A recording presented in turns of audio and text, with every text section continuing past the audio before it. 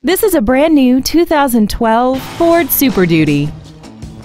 This truck has a six-speed automatic transmission, a 6.7-liter V8, and the added capability of four-wheel drive. All of the following features are included. Air conditioning, a rear split bench seat, a trailer hitch receiver, trailer mirrors, tinted glass, and an auxiliary power outlet.